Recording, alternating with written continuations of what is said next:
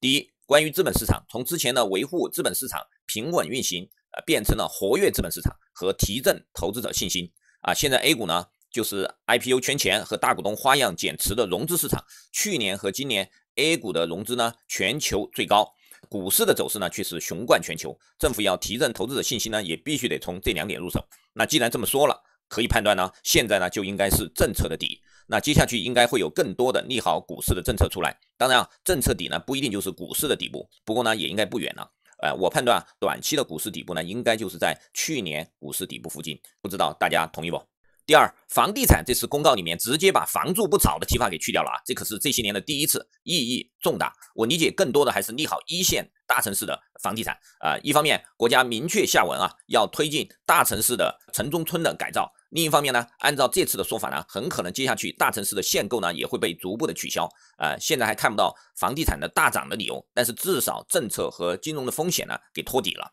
第三，大家担心的地方债的问题，从严控隐形负债啊，变成了现在的有效防范化解地方债务的风险，相当于未来啊会适当的允许地方政府发新债，尤其是专项债来增加杠杆了啊。包括这次说的要刺激呃内需，然后要提高消费啊等等，表明政府呢